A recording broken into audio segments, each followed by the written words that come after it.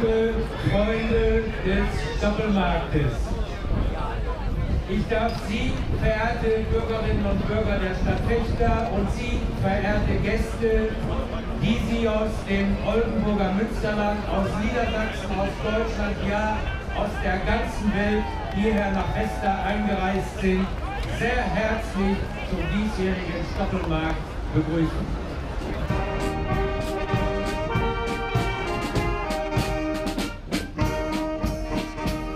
Liebe Stoppelmarktfreunde, der 718. Stoppelmarkt, der Stoppelmarkt 2016 ist eröffnet.